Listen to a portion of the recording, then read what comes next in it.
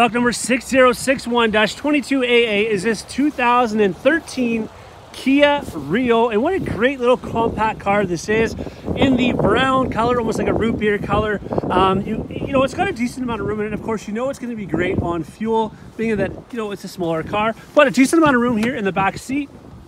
As you can see, cloth interior throughout this one. What I do like about it though is it does have the heated seats in it. So that's obviously nice for our winters up here, of course. And right now we're sitting at 144,596 kilometers on this one. Gotta make it insane because these compact cars do not last long. So make sure you make it in before it's too late.